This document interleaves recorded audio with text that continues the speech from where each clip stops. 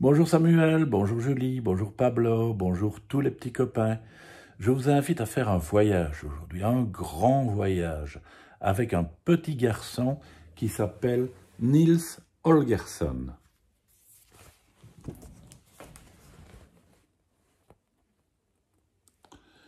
Il était une fois un petit garçon qui s'appelait Niels.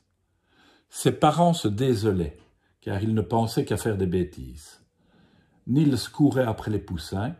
Ceux-ci avaient si peur qu'ils s'éparpillaient de tous côtés, et la poule s'essoufflait à les rassembler. Puis Niels renversait la gamelle du canard, il jetait son sabot dans les pattes de la vache, et surtout, il lançait des fléchettes sur le beau jarre blanc que sa mère aimait tant.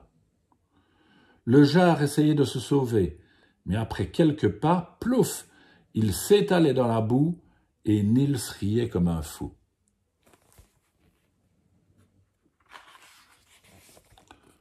Un matin, Nils est tout seul à la maison. Il se chauffe devant le feu en bâillant quand tout à coup, il sursaute. Un petit bonhomme au chapeau pointu est assis sur le vieux coffre de sa mère. Nils n'en croit pas ses yeux. Il se met à ricaner. Quel drôle de lutin Je vais lui faire une farce. Nils attrape le filet à papillon. Zip Il le rabat sur la tête du lutin. Il se dit Je vais appeler le chat. Ça va lui faire une de ses peurs. Nils se dirige vers la porte pour inviter le chat à entrer. Il ne voit pas le lutin qui soulève doucement le filet pour se libérer et qui chante en sautant à cloche-pied Méchant tu es, petit tu seras. Petit tu es, gentil tu deviendras. Au même moment, Nils rapetisse, rapetisse.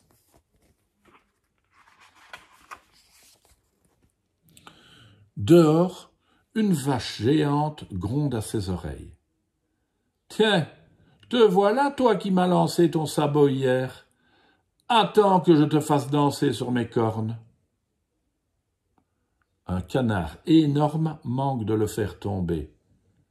C'est toi qui as jeté ma gamelle dans le fumier. Attends un peu que je te pousse dans la mare. Une poule gigantesque le menace. C'est toi hier qui as fait peur à mes poussins. Approche, tu vas tâter de mon bec pointu. Nils croit rêver. Ces animaux sont immenses. Et il comprend qu'il est devenu tout petit, aussi petit que le lutin.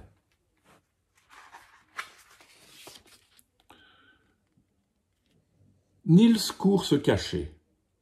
En trois minutes, il escalade le mur derrière le poulailler et il se retrouve près du ruisseau. Ouf, il est sauvé. Derrière une feuille de pissenlit, plus personne ne peut le voir. Alors Nils se met à pleurer. Que puis-je faire maintenant que je suis tout petit? Les animaux vont sans cesse s'amuser à me faire peur. Il vaut mieux que je m'en aille.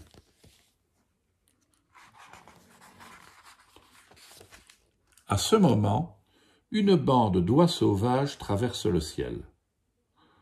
Aussitôt le jarre de la ferme bat des ailes.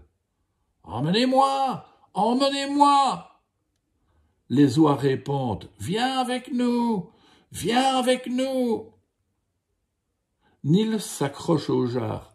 Non, ne pars pas, maman serait trop triste sans toi. Mais d'un bond, le jarre s'élance. Il monte si vite dans le ciel que Nils n'ose pas le lâcher, de peur de tomber. Pour ne pas glisser, il s'agrippe à son cou. Bien installé sur le jarre, Nils regarde tout en bas. Il découvre une grande nappe au-dessous de lui, pleine de petits carreaux de différentes couleurs. Ce sont des champs, des forêts, des prairies ou des fermes les oies survolent une ferme et elles demandent Comment s'appelle votre ferme? Comment s'appelle votre ferme? Le coq tend le cou pour répondre Notre ferme s'appelle Petit Champ, cette année comme l'an passé, cette année comme l'an passé. Nils éclate de rire, oubliant un moment ses malheurs.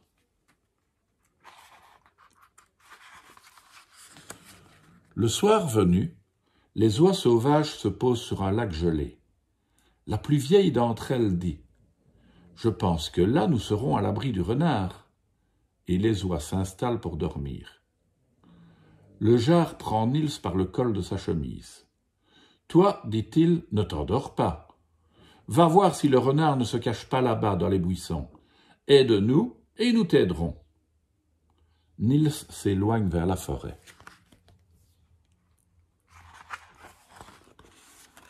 Dans la forêt, il entend soudain des caquettements. Un renard file devant lui à toute allure. Dans sa gueule, il tient une oie. Sans réfléchir, Nils court à sa poursuite. Il attrape la queue du renard mais le renard, la bouche pleine, s'écrie Lâche-moi, Rikiki, sinon je te mange aussi. Furieux d'être traité de Rikiki, Nils prend appui sur une racine et il tire un grand coup sur la queue du renard. Surpris, le renard ouvre la gueule.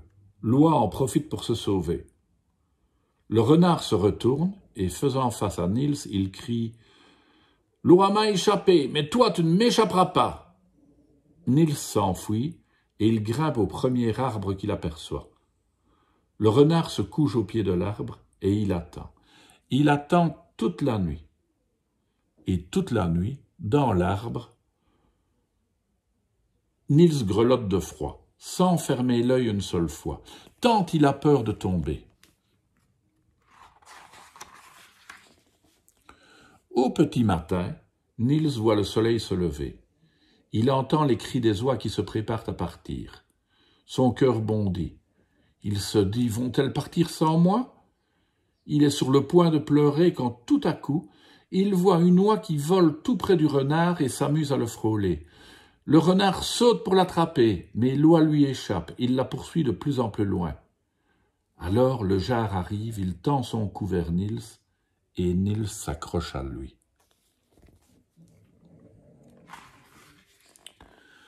Depuis ce jour, Nils est devenu l'ami de toutes les oies, mais c'est le jar qu'il préfère. La nuit, Nils dort au creux de ses plumes. Le jar l'appelle Pousset, et quand il a des ennuis, il n'hésite pas à, crier, à crier « À l'aide, Pousset !» Nils en est très fier. Un jour, les oies survolent la campagne et Nils reconnaît la ferme de ses parents. J'aimerais tant les revoir, dit-il au jar.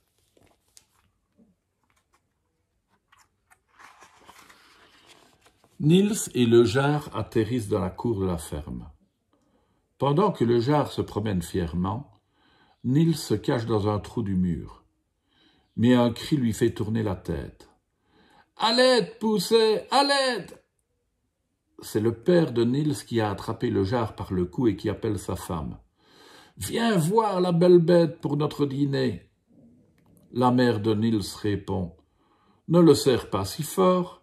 Il me fait penser à notre beau jar blanc qui a disparu l'an dernier avec notre petit Nils. Le jar hurle de plus belle. À l'aide, Pousset, à l'aide Nils bondit à son tour, il crie « Père, mère, ne tuez pas ce jar, c'est votre beau jar blanc. Sans lui, je serais mort depuis longtemps. » Le père et la mère se retournent bouche bée. « Nils, c'est toi?